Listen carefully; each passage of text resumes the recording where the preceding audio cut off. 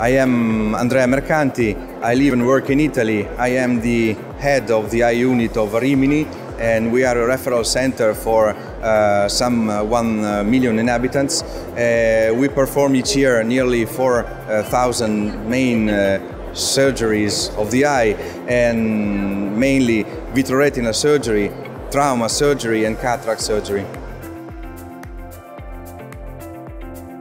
Personally, I deal with the complicated uh, eye surgeries and uh, especially vitreoretinal surgery and cataract complicated cases.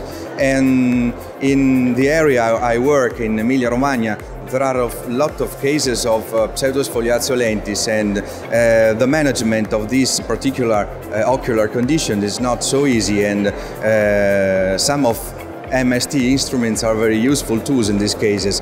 And I'm talking about uh, especially Malyugin ring uh, that uh, helped me so much in uh, solving very difficult uh, cataract cases.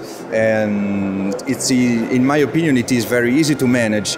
And it let you uh, wide open the pupil when it's not dilated as you would like to. And this makes your surgery much more safe and effective in these cases.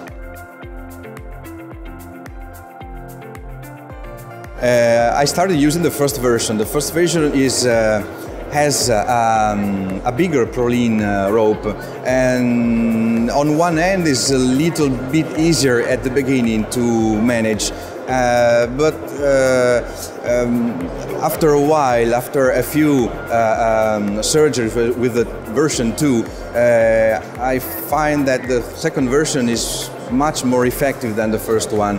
And because uh, um, after a, a, short period of uh, learning curve, uh, you are able with, uh, with an extreme uh, facility to uh, implant that uh, Malyugin, that ring.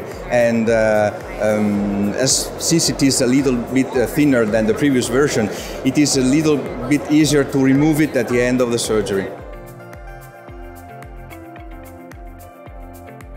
As I told earlier, um, we have so many cases of uh, uh, eyes with undilated pupils, and all of those cases uh, change dramatically uh, if you help yourself with helpful tools uh, such as Malyugin or not. And in, in all of those cases with undilated pupils, uh, Malyugin ring helps you in performing a safe and effective surgery even if you had not the problem of an undilated pupil. Uh, very useful to use and uh, it is very uh, polite with the uh, anatomy of, your, of the iris of the eye you're going to operate.